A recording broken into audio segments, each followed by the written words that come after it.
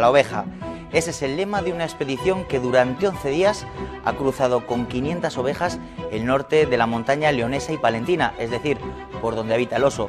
Pastores modernos con teléfono satélite y GPS, pero que se parecen a los de antaño y quieren hacer ver que el impulso de la ganadería extensiva en Castilla y León puede ser una gran ayuda, por ejemplo, contra la extinción de incendios y además una fuente inagotable de biodiversidad.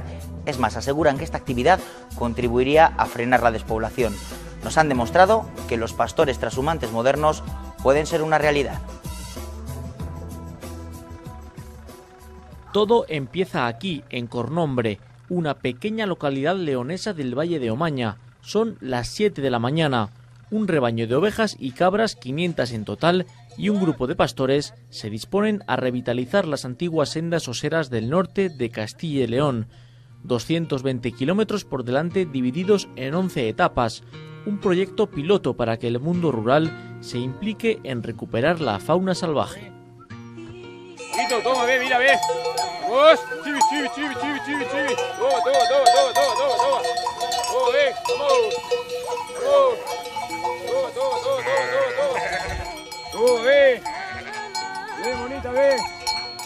toma, ve. Vamos. Este es el arranque. Aquí empezamos. Esto no lo hemos hecho nunca, pero no creo que tengamos mucho, mucho problema. La expedición denominada Del oso a la oveja comienza a atravesar el norte de León. Desde hace 18 años, el Ministerio de Medio Ambiente se plantea recuperar antiguas infraestructuras para el uso y disfrute del ciudadano. La intención es que la comunidad cuente próximamente con 225 kilómetros de caminos naturales. Pero ellos van más allá, pretenden recuperarlos para que se asienten nuevas formas de vida en la montaña. Se van acercando a los primeros pueblos. Tres caballos y hasta siete perros ayudan a guiar al ganado. Vías pecuarias y pistas rurales que necesitan ser pisadas en el presente para ser beneficio de futuro. Y su filosofía es muy clara. Sin ganado no hay naturaleza. Este rebaño es el que va siguiendo el rastro de los osos que se mueven entre Asturias y Palencia y lo que nosotros intentamos es que justamente el oso y la oveja se entiendan como una sola cosa que sirve para que este paisaje y esta naturaleza que queremos proteger continúen existiendo, lo mismo que los pastores y que la ganadería extensiva. Los rebaños mantienen abiertos los pastos que utilizan los herbívoros salvajes, impiden que crezca el matorral y con él los incendios. Abonan la tierra y alimentan con sus carroñas a especies carnívoras amenazadas como el oso y el quebrantahuesos. Sin conservar estas actividades, sobre todo estacionales, que evitan esa carga de ganado durante todo el año y que todo lo que proporcionan son beneficios, sin estas actividades estaremos dando al traste con todo lo que hemos heredado y hemos decidido proteger. Descubren caminos ancestrales que muestran la unión milenaria del animal salvaje con la oveja y la cabra, unión que el hombre actual ha olvidado en muy poco tiempo, pero las especies amenazadas no. Estamos viendo la subida a los puertos de Abelgas, parece que bueno, van bastante bien hasta ahora, como no aprieta mucho el sol, van caminando muy ligeras, lo peor será pues a partir de las 12 o la 1, cuando ya caliente bien, entonces habrá que ir más despacio, pero hasta ahora muy bien. De momento que no aprieta el calor, se va bastante a gusto y con los perros y con la gente que somos, pues de momento se va ligerito.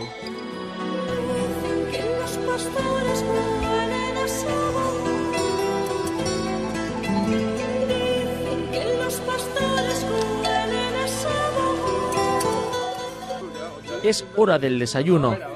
De nuevo, el día solo tiene el paso del calendario porque para ellos todos los despertares son iguales. Pretenden ser nómadas modernos, con móvil, GPS y hasta antena vía satélite para tener acceso a Internet, aunque no están muy enterados últimamente de lo que pasa en el mundo. Como cada jornada hay que recoger las habitaciones, una intendencia organizada. El descanso también es necesario. Hay algunos días en los que ha sido ha tenido que salir muy temprano porque las etapas eran duras. Ayer, por ejemplo, llegaron a la noche y entonces Luis y yo nos ha tocado montar todo. Campamento, ¿verdad? Tiendas, hacer la comida. Esos días son un poco más duros. Fruto del desgaste van surgiendo algunos problemas. El mejor perro de Chus tiene heridas serias. Estas ovejas pues tienen un condicionante que no son ovejas acostumbradas a trashumar y hay que trabajar mucho con ellas para que avancen en algunos momentos determinados y hay que tirar demasiado del perro. Entonces el perro pues se resiente. Alguna cabra no puede más y hay que vaciarla.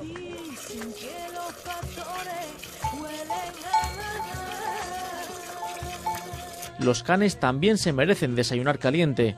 Estamos en San Felices, una pedanía de apenas 30 habitantes enclavada en Fuentes Carrionas al norte de Palencia. La salida es lenta y además se encuentran un ligero repecho. Hemos tenido dos bajas de accidentes, de golpes, eh, para bajar piedras y cosas. Hombre, es normal que haya alguna baja. Pérdidas no, porque el ganado trashumante que ya sabe trashumar eh, funciona mucho mejor. Entonces es raro que se pierdan ovejas perdidas. Eh, tener algún accidente, pues sí, es habitual. Siempre vas, pasas colladas, pasas pedregales, pasas gatiñales, pasas sitios duros y siempre hay alguna. Siempre hay incidencias, pero bueno, las incidencias ocurren no solo en la transhumancia, ocurren en el diario del ganado. Vemos que la tecnología no está reñida con lo rural. Hacen fotos a árboles frutales durante toda la marcha y las georreferencian. Necesitan saber dónde hay escasez para poder plantar más. Con el GPS hemos hecho una foto porque aquí antes no había árboles y, y entonces esto y ahora esto puede ser ruta de oso en la montaña palentina. Estamos mirando en todo recorrido qué cerezos, qué manzanos, qué otros árboles frutales quedan, porque con el abandono de las majadas y de la actividad rural en la montaña se van perdiendo estos árboles que son estratégicos para alimentar al oso pardo y a otras especies en los meses de julio, de agosto, en el verano, vamos. Entonces nuestra idea es repoblar la cordillera con árboles frutales orientado a alimentar al oso. Precisamente al valor de las actividades tradicionales que permitieron la, existencia de estos manzanos que tenemos aquí, que estamos ahora mismo en el límite de su periodo de vida. Son 25-30 años, que es el periodo en el que las últimas actividades tuvieron en cuenta el plantar estos, estos árboles. Los pueblos pastores albergan respuestas a la adaptación al cambio climático y en todo ello la mujer y los jóvenes como valores de futuro. Creo que alguna, que alguna gente cuando esté viendo esto dirá, yo quiero hacer eso. Aquí el día es muy caluroso y está cansando mucho esto de caminar, pero ya falta poco para llegar. Vamos a pasar una curva y ya está donde vamos a parar a comer. La gente de ciudad, si viene al mundo rural, se da mucho más cuenta de, los animales. La gente que vive aquí mm, se da cuenta de, todo esto, de, los árboles son necesarios, los, animales domésticos y los salvajes, por supuesto. Ahí está todo el ecosistema que tenemos creado y no hay que tirarlo por tierra, lo que ya está creado. Tienes su campo, tienes posibilidad de coger ovejas, vacas, y vivir en el pueblo. Y en el pueblo, en un mundo rural, más pequeño, más grande, se vive bien. El calor sigue apretando y el rebaño para al mediodía unas dos o tres horas. Tras ello, las protagonistas cogen pereza pero siguen obedeciendo. Provienen de la sierra de Aracena, en Huelva, y no están muy acostumbradas a tanto desfile. Estas ovejas no estaban enseñadas a cruzar ríos, hemos tenido que cruzar ríos, hemos tenido que bajar por alguna barranca un poco que tal. Hemos encontrado pasos canadienses, alambreras, otro ganado, vacas que nos embestían, perros, turistas, la tele. Es hora de recoger. Hoy tienen localizado un antiguo corral para que puedan sestear a gusto.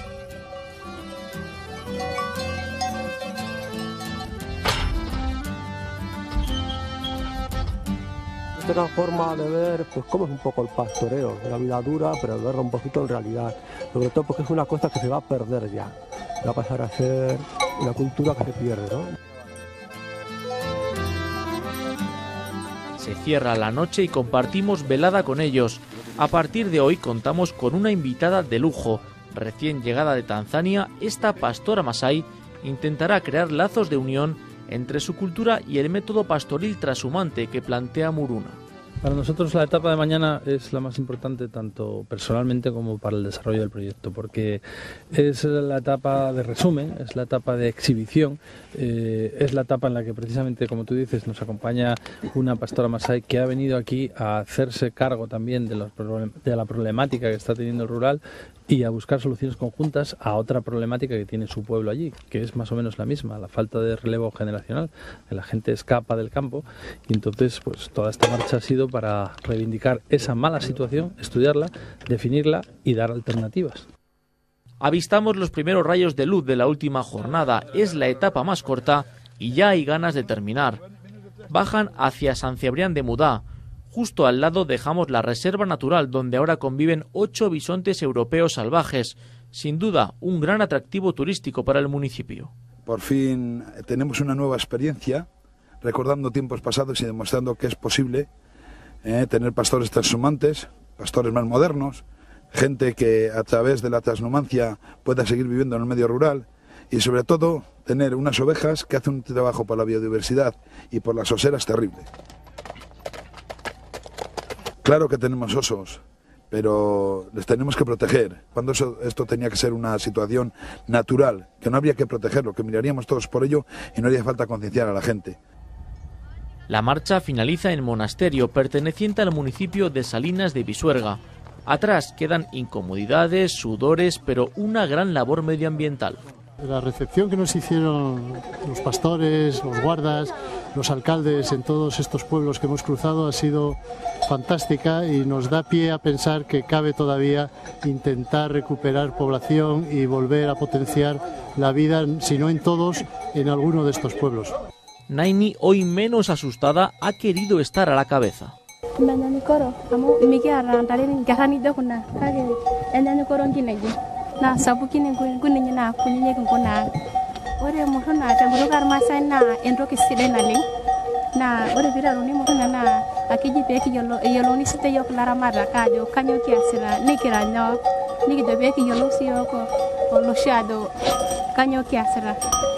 Castilla y León tiene hoy en día 7.400 pastores menos que hace 10 años. Ellos no toman vermú los domingos, ni tienen horarios de oficina frenan la despoblación en territorios, aunque a veces hostiles para la mayoría de los ciudadanos. De este modo, desarrollan la sociedad de la información entre nómadas pastores.